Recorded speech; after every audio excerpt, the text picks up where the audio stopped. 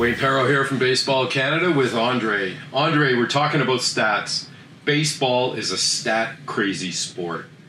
What's your opinion on stats in amateur baseball? And and that that's a problem with some uh, with some some of our, our, our people, whether they're parents, coaches, or athletes. Sometimes they get caught up too much with the traditional stats that I'm going to name them as traditional stats like batting averages, uh, ERA that we see all the time on on, TV. We got to remind ourselves that um, our season sometimes in Canada is about one month of an MLB.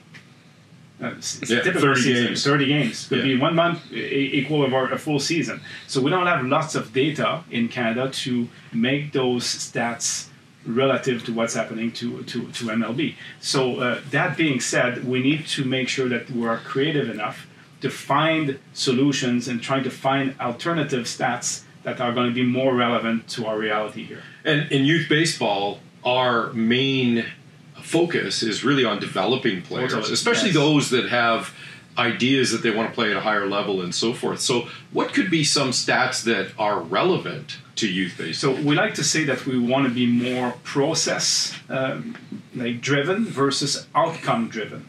So, that being said, uh, the quality at bat um, uh, stats is a good one to have because we're looking at the process, how that pitcher approach the confrontation with the pitcher versus the outcome of the at bat you could be 0 for 4, but maybe those four times you hit the ball hard, and that tells you something as a coach that that kid is on the right path.